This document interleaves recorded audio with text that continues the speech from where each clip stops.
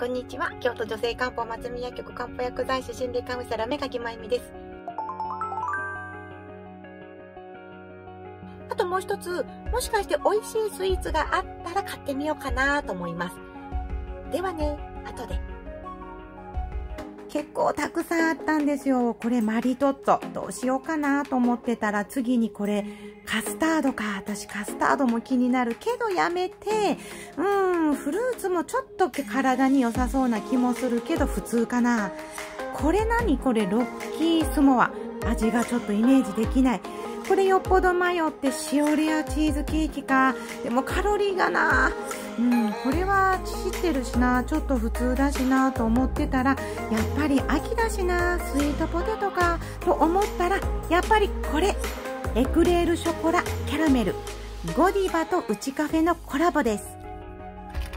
はい、結局買ったのはこれです。ゴディバのエクレールショコラキャラメル。もう全部美味しそうだったから本当に迷ったんだけどどうしてもカロリー書いてあると気になるから結局もうカロリー気にせんとこうと思って一番食べたいのにしようと思って一番気になったこれにしてみた。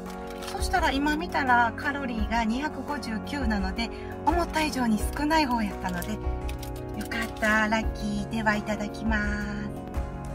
カロリーのことばっかり言ってたけど私本当にあの昔今より10キロ以上太っていてずっとコンプレックスがあったんです。太ってるとか体型コンプレックスとかそれだけではないけどそして過食症っていう障害もありました。もう一気にバームクーヘン大きいの1個食べてしまったりとかグラノーラ1袋を1日か2日で食べちゃって口の中傷だらけとか口内炎できたりしてしまいました。でも今は私自身もカウンセリングを受けてほとんどほぼほぼクリアできています。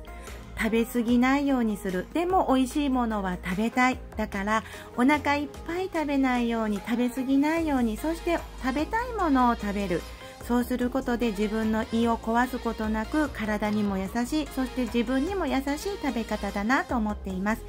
この YouTube を聞いてちょっとあれ私もそんなことあるなって思った方よかったらまたカウンセリング受けてみませんか？